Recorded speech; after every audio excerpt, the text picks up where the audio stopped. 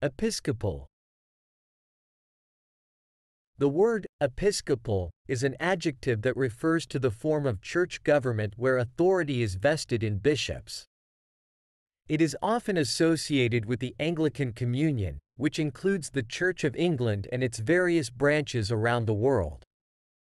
In the context of the Episcopal Church, Episcopal refers specifically to the denomination that follows this form of church governance.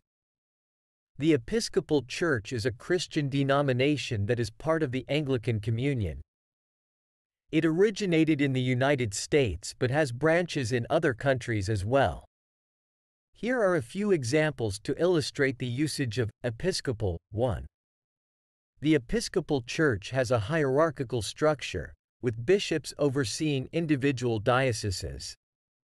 In this example, Episcopal describes the form of church government where bishops have authority over local dioceses. 2.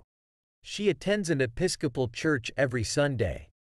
This sentence indicates that the person attends a church that is part of the Episcopal Church denomination. 3. The Episcopal tradition emphasizes the importance of liturgy and sacraments. Here, Episcopal highlights the specific religious tradition that places importance on formal rituals and sacraments. 4. The Episcopal Church allows the ordination of women as priests and bishops. This example illustrates that the Episcopal Church is known for its inclusivity and acceptance of women in leadership roles. Overall, Episcopal is a term used to describe a specific form of church government and the religious denomination that follows this structure.